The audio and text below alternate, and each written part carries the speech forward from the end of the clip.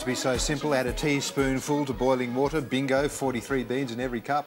Now, in order to achieve the perfect cup of coffee, one almost requires a doctorate, as Christy recently discovered. The back streets of Melbourne, a cult movement is growing amongst the city's best young baristas and their followers.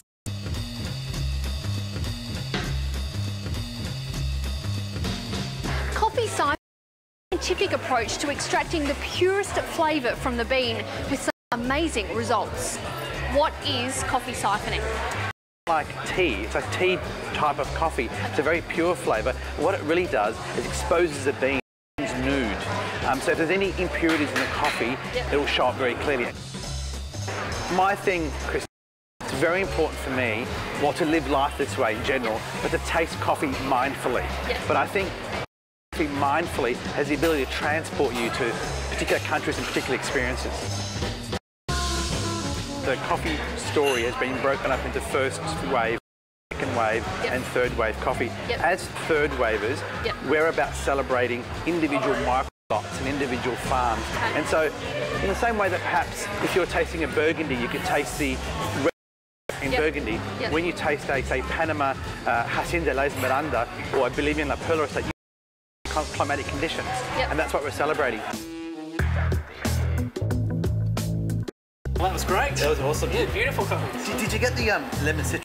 and the little sort of Armagnac front note. The coffee bean is selected and treated with almost spiritual reverence, starting with I liked the first coffee the best, but the flavour wasn't as strong. Like I was expecting it to be quite full on, and it wasn't. And I think you said it had like own fruit flavour, which now that you've said that, then I could taste that. But it was subtle still. In the Kenya one, did you get the sort of dark chocolate yes, sort of with, number four? With, yeah, was one of with, my with butter and cream? Yeah. So no wonder I liked it the best. yeah, yeah. So tell me why we did that. Absolutely, it's really a quality control sort of process for the business. We're buying some of the best coffees in the world here, so yep. um, at this they're in their, their stable form as a raw product. Yep. We'll roast them lightly yep. um, to get that sort of true characters of the coffee. When you break the crust, tell me about that. Coffee floats, so yep. some grains are, are going down in the cup and the majority are going up.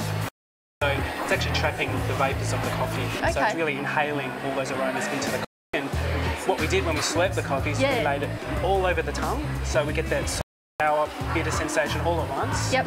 And then part of that coffee then evaporates again into our nasal passage right up the back. Okay. That sort of triggers all our nerve endings there to sort of decide how coffee's going to taste.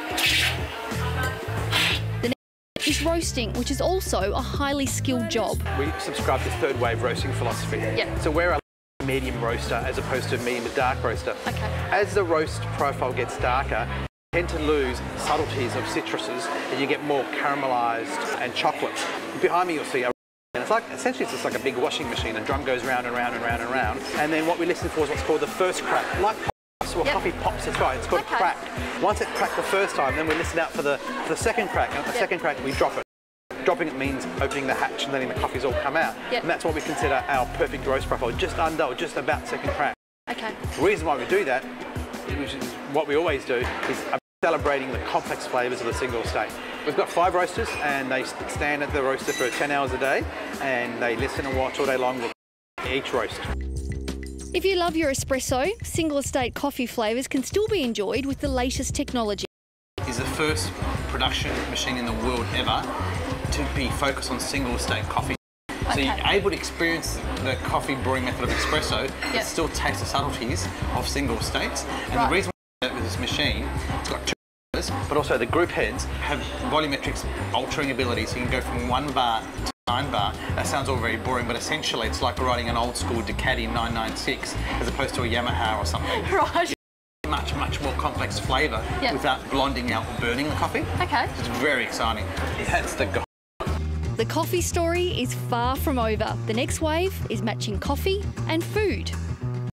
That we're chanting single estate micro lots, looking for subtleties and flavour. Yeah. Match those flavours with food. So my guess is this is going to be a citrusy, savoury coffee. Yep. So we're looking for this a mandarin juice, oregano, thyme. Yep. So I imagine this will be citrusy and savoury as well. Yeah, I'm definitely getting tomato soup, like tomato consomme. Oh yeah. And lemon, that's citrusy. Strong lemon, strong citrus. Yep. So instead of wine and food, siphon coffee and absolutely amazing, worth a try. So let's try the food match, shall we? Mm. Wow. Oh my God, that's amazing. Mm. Well, I know I would never ever normally have coffee and food like that, but that goes beautifully.